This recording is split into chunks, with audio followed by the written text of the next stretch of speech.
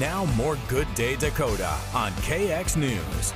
Well, it's 634. Welcome back. Over this past weekend, hay bales spontaneously combusted near McClusky. And while this may sound a little odd to you, it actually happens more often than you might think.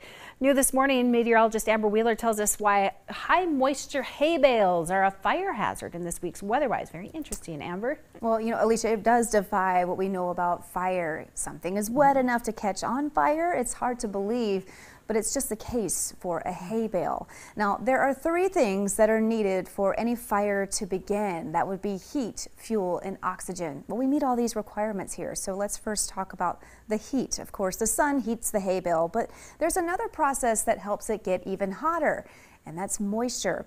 For a bit after it's cut down, hay is still going through its respiration process. This is when a plant is producing its own energy by intaking carbon dioxide and releasing oxygen. A byproduct is heat and moisture. Water is, has a high heat capacity, meaning it can aid the hay bale into heating up easily to well over 140 degrees inside, which is the beginning of the danger zone for a fire to occur. This is why most hay bales will be hotter, most wet hay bales will be hotter than any dry hay bale. Now, of course, the fuel is the actual hay itself, and the fire typically starts on the outside of the hay bale because that's where the oxygen is. We need that for the fire to begin. This is all a recipe for a combustible hay bale. And this is what happened in McClusky over the weekend. The Goodrich fire chief, who was on the scene, told me about a thermal imaging tool that they have now. Uh, they use it to read the temperatures of an object.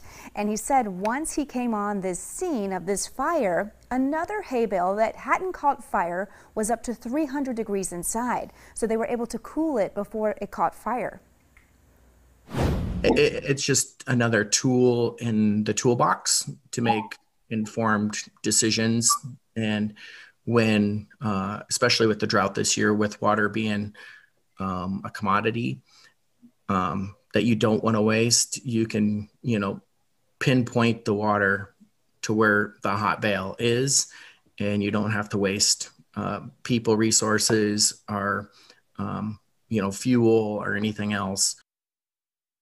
According to the National Ag Safety Database, hay fires usually occur within six weeks of baling, but fires have happened and have been known to happen in several year-old bales. Alicia, Chief Galvin, uh, he'll head out to farms at request to monitor hay mm -hmm. bale temperatures. If anyone watching this right now may need help with that, check with your local fire department and law enforcement offices because many actually have these thermal imaging devices that can help you. Oh, very, very interesting. So the what do they do to cool those bales? then? They just they would put water on them so sure. they can pinpoint, they can take a picture of this hay bale. The picture is reading the temperature. Mm -hmm. They mm-hmm. pinpoint the hot spot, it tells them what the mm -hmm. temperature is, then they can pinpoint Just the water. And it saves re resources as well, and yeah. it saves that hay bale. Absolutely. Well, very interesting. Thank you very much, Amber.